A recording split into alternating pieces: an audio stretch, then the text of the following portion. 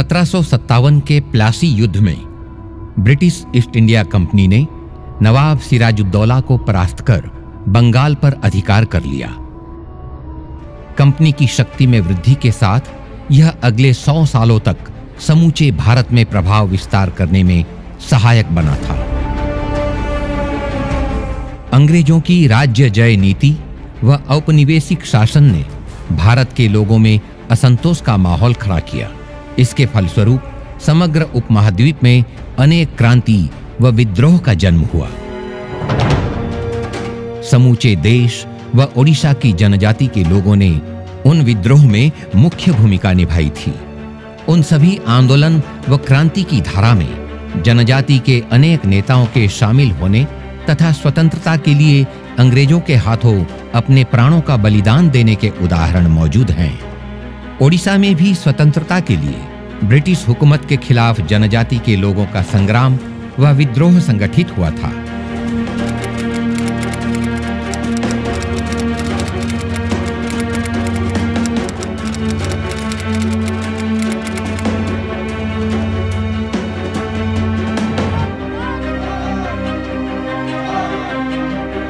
स्वतंत्रता संग्राम में कांग्रेस की बातों से लक्ष्मण नायक बहुत ही प्रभावित हुए थे।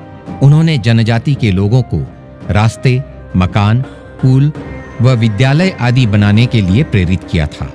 गाँव वालों से उन्होंने कोई भी कर न देने को कहा था। अहिंसा को अंग्रेज़ों के विरुद्ध मुख्य हथियार के रूप में प्रयोग कर वह दमन तथा शोषण के खिलाफ लड़ाई के कर्णधार बने थे। अंग्रेज़ों के खिलाफ अहिंसा का मार्ग अपनाकर उन्होंने स्वतंत्रता संग्राम को जारी रखा था। जनजाति के लोग उन्हें मलकानगिरी के गांधी कहा करते थे। स्वतंत्रता संग्राम में कोरापुट के जनजाति के लोगों का विद्रोह अप्रत्याशित रूप से एक जन आंदोलन को जन्म देने में सक्षम हुआ था। लोगों में भारत छोड़ो आंदोलन का नारा करो या मरो प्रसारित हुआ। 21 अगस्त 1942 में विभिन्न गाँवों के जनजाति के लोगों ने लक्ष्मण नायक के नेतृत्व में हाथों में कांग्रेस का झंडा लिए रामधुन गाते हुए माथिली की ओर यात्रा शुरू की।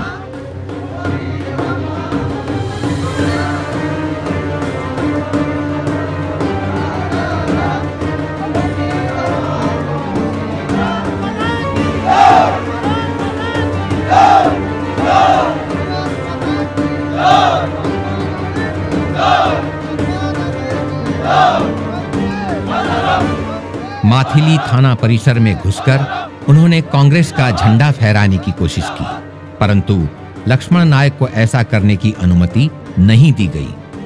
मजिस्ट्रेट मुजीबुर रहमान ने वहाँ विद्रोहियों पर लाठीचार्ज के आदेश दिए। उसके बाद पुलिस ने गोलियाँ चलाई, जिससे पाँच लोगों की मौत होने के साथ साथ सत्रह घायल हुए थे।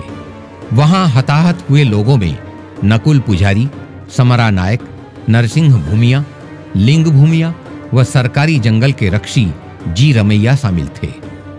घायल लक्ष्मण नायक थाना परिसर में एक गड्ढे के किनारे पड़े थे। यह पुलिस के लिए एक बिन मांगा आशीर्वाद था। उन्होंने लक्ष्मण नायक को जंगल रक्षी जी रमैया की हत्या के आरोप में फंसाकर गिरफ़्तार कर लिया। चार महीनों तक सुनवाई चली और 13 नवंबर 1942 को उस समय के दौरा जज वी. रामनाथन ने लक्ष्मण नायक को मृत्युदंड से दंडित किया था। फांसी के लिए उन्हें ब्रह्मपुर के कारागार में स्थानांतरित किया गया। ब्रह्मपुर के वकील श्री राधाचरण दास एवं प्रख्यात स्वतंत्रता सेनानी उमाचरण पटनायक ने पटना उच्च न्यायालय में पुनर्विचार के लिए अपील की, लेकिन अपील को खारिज कर दिया गया। फांसी का दिन निकट आ रहा था और कारागार के सभी कैदी उनके प्राण की रक्षा हेतु प्रार्थना कर रहे थे। 28 मार्च 1943 की रात राज्य भर में उनके साथी सोए नहीं थे।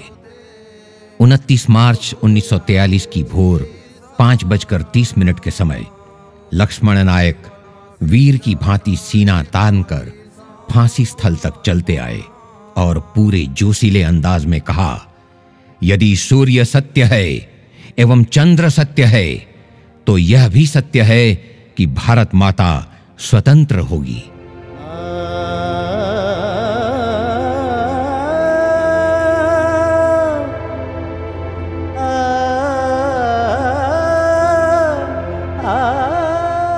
जेल के जल्लाद राममूर्ति द्वारा फांसी का लीवर खींचते ही लक्ष्मण नायक के पैरों तले का लौहपट खिसक गया।